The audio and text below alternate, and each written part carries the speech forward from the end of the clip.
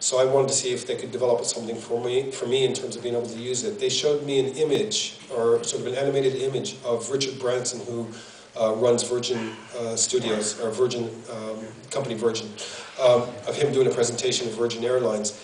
And he was a bit like one of these Star Trek figures, sort of uh, buzzing around and sort of edgy and all that sort of. And I thought, well, that's great, but that's not really cutting edge as, as I would imagine. They said, no, but we are working on that. Come back in December and we'll show you what we've got. I went back last December, 2009, to this place, and they put me into a small room, much smaller than this, sat me on a little sofa in front of a, a stage with big velvet curtains on it, uh, opened it up, and I was staring at uh, a young guy and a, and a, and a young girl, about mid-20s, and uh, I said, all right, and then, so they started dancing, they were uh, modern dancing.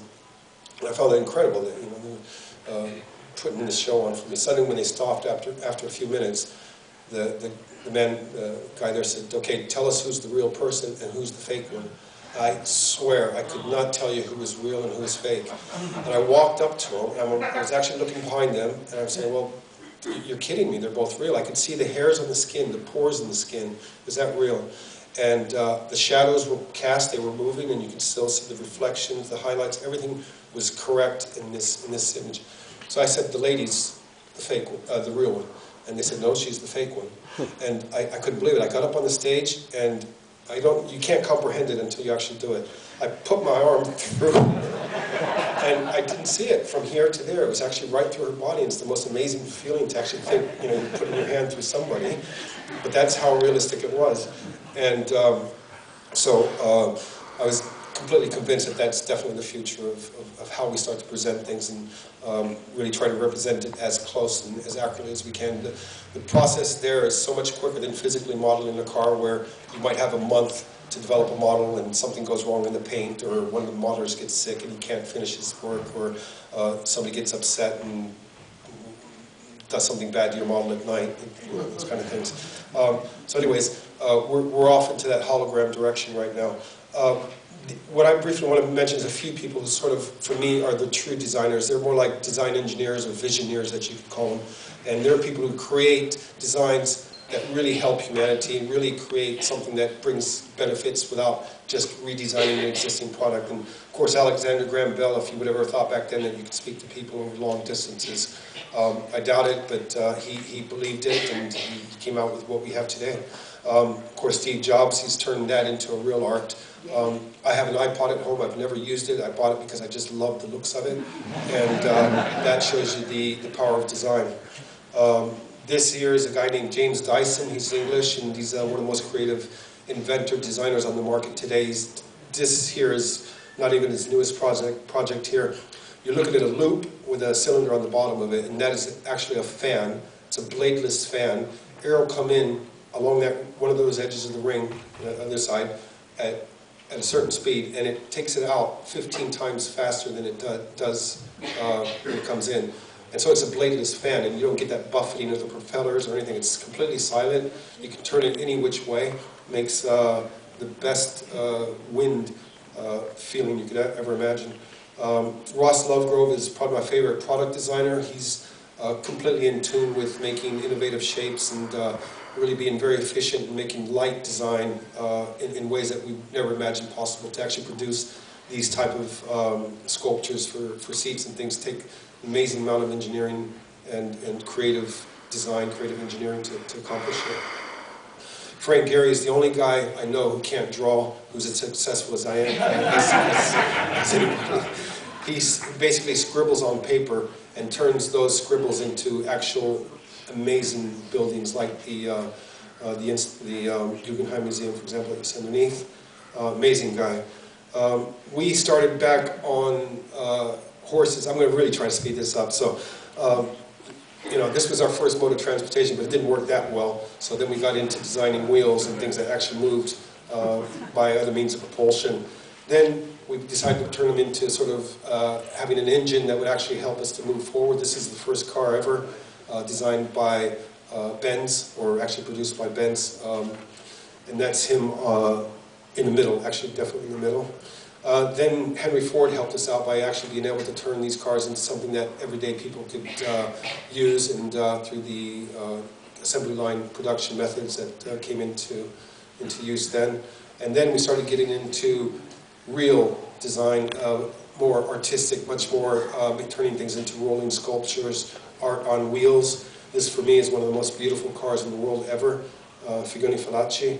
And then we started getting a bit crazy and uh, I think um, they started really uh, smoking the wrong stuff here, but actually it's beautiful in the sense that they started taking influences from uh, aviation and a lot of different other types of design and uh, creating cars that were much more dramatic than ever before. Then we started getting into uh, real beautiful sensual design. I'm a real uh, fanatic about about these type of uh, cars, not, not so much from the sensualness, but from the timelessness of it. If you design something that's sensual and very natural looking, it's probably because you know, it's been influenced by shapes that have been influenced or, or, or evolved through evolution, which is the most normal way to design. They're, they're not trends, they're actual um, efficient designs. Uh, then we lost it and started going for safety, and we started building boxes that we thought were the most safe uh, things we could be in, and of course they were safe, but if you can imagine, somebody actually sat there and signed this car off and said it was beautiful. Um, maybe, but I, today I, that car was not full of emotion or aesthetic emotion, it was just uh, engineering, uh, probably engineers' designs. Then we started getting back into bringing a bit of fun back into motoring, so we did high performance, safety, and uh, emotional design. So uh, that's one of our cars. This is uh, what we thought was going to be the future.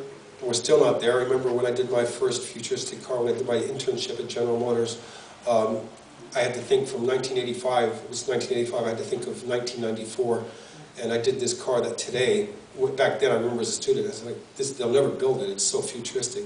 That car is so old in my eyes now, um, but hopefully one day I think if we can get to that technology, uh, it'll still be a dream. We're going to be on wheels for a long time. But like I said, a lot of the technology that we're looking at today is for the automotive industry is coming from the aviation industry. Most of the military aircraft and the planes that are just going past the atmosphere, and uh, that's going to change the whole future of travel. Briefly, the, the I was at the, uh, I, I, had to do a keynote speech at the 2010 World Innovation Conference in Ibiza back in May, and they had the best creative directors of all the major companies around the world.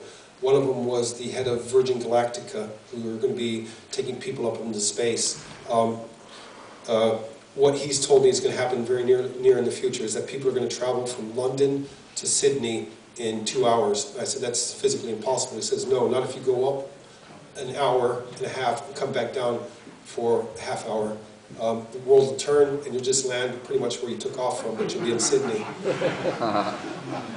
this is what I consider the best design influence of anything in the world. It's basically looking back at nature and what makes these these things so efficient. Um, if you ever saw a cheetah, not only in its you know uh, most advantage, uh, most effective position of travel, but just the beauty of it.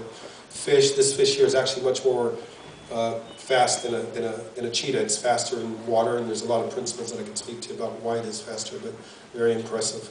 In the peregrine falcon, it can dive at over 200 miles an hour simply because of the way it positions its wings. It doesn't sweep back, it actually sweeps everything forward.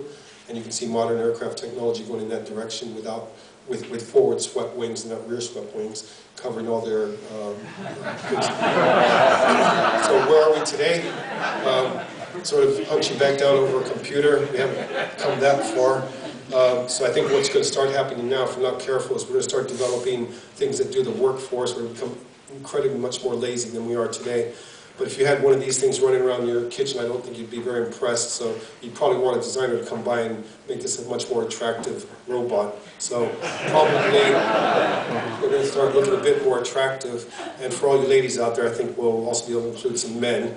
The problem with this kind of relationship here is you get this. And if you get this, then we're going to be really a, a, the creek without a paddle because uh, you know they could be ruining the world. So we've got to be really careful about which way we're going in the future with design. Uh, that we start thinking outside the box and looking for new solutions as designers. Thank you very much.